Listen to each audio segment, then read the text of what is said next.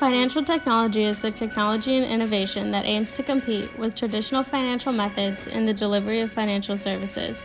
It is an emerging industry that uses technology to improve activities in finance.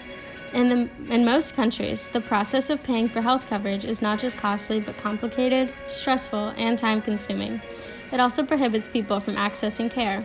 These healthcare systems not only overwhelm current users, but also discourages new ones from finding the coverage that is right for them. As health services become increasingly digital, more opportunities open up for companies to store data driven services that can modernize and hopefully revitalize our fragmented healthcare networks. Mobile based health savings accounts, low interest loans, and remittances used specifically for healthcare are examples of payment oriented financial technology solutions which increase the access and affordability of our care for low to moderate income populations that might otherwise be difficult to reach. Data oriented financial technology solutions, which simplify the health payment process for all users, use technology to process healthcare data in greater quantities at greater speeds. Finding which technology solution for your company depends on how big your company is and the distance you are wanting to cover. Also, which option or both will give you sustained competitive advantage.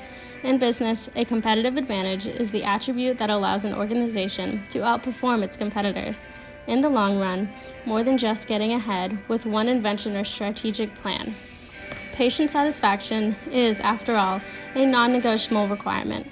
For financial technology success, the phrase patient centric appears frequently in descriptions for products targeting healthcare consumers and providers alike, making a different appeal to organizations that want to do better by the people they serve.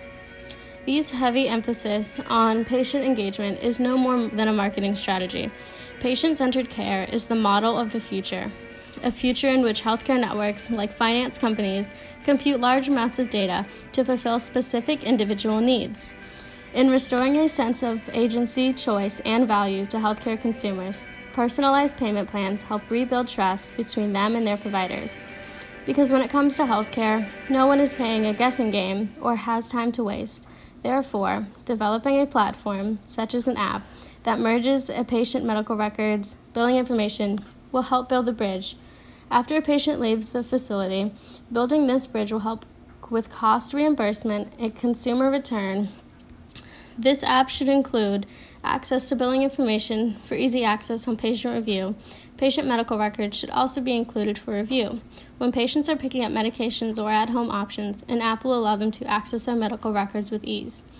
App development would open up a discussion bridge for consultation and have a border reach surrounding communities while keeping COVID protocol. Cone Health mentioned there was no tech support for the services they provide, so that should also be developed.